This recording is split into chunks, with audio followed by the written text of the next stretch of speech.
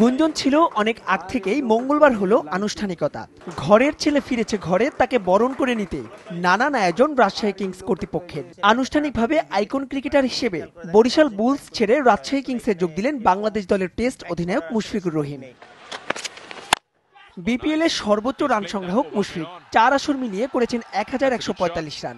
এবারের আসরে তাই মুশফিককেই প্রথম পছন্দ ছিল কিংসের। প্রথম আসরে দুরন্ত রাজশাহীর হয়ে সেমিফাইনাল খেললেও এরপর আর সেরা চারে খেলা হয়নি বগুড়ার এই ক্রিকেটারের।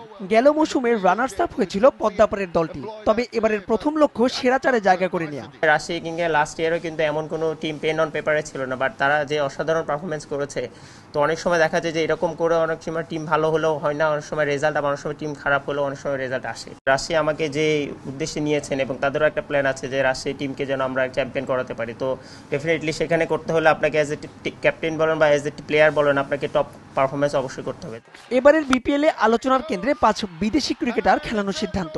পক্ষে বিপক্ষে অনেক মত আসলেও মুশফিক এ ব্যাপারে কিছুটা ডিফেন্সিভ পাঁচজন বিদেশি প্লেয়ার ডেফিনেটলি যে কোনো টিমে থাকলে এখানে একদিক দিয়ে হবে যে হয়তো বা আমাদের একটা লোকাল প্লেয়ারের স্পটটা কমে যাবে। বাট আরেক দিকেও আপনি যদি চিন্তা করেন দেখা যাবে যে এখন অনেক টাফ কম্পিটিশন হবে যেটা কিনা আমার মনে হয় তারা যদি এই ডোমেস্টিকেই এই মানে প্র্যাকটিসটা করতে পারে আমার মনে ইন্টারন্যাশনাল গিয়ে এটা অনেক হেল্প করবে। আমার আসলে কোনো কিছু কাউকে প্রমাণ করার জন্য আসলে খেলার এরকম মোটিভেট আমার কাছে না আমি আসলে নিজের কাছে নিজে চ্যালেঞ্জ নেওয়ার চেষ্টা করি।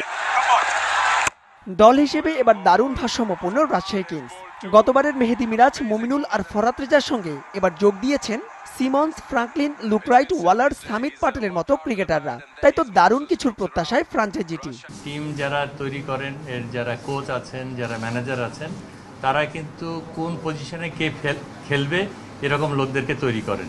এবং সেই পরিপ্রেক্ষিতে প্লেয়ার সিলেকশন হয়। কেউ আসবে, কেউ যাবে, এটা কিন্তু নর্মাল প্রসেস এটার সাথে কোনো ধরনের কোনো মনোমালিন্য, কোনো কিছুই নেই। তবে কে হচ্ছেন রাজশাহী কিংসের এবারের অধিনায়ক সে ব্যাপারে এখনও কিছু পরিষ্কার করেনি মালিক পক্ষ মাহবুব রিমন, সময় সংবাদ, ঢাকা।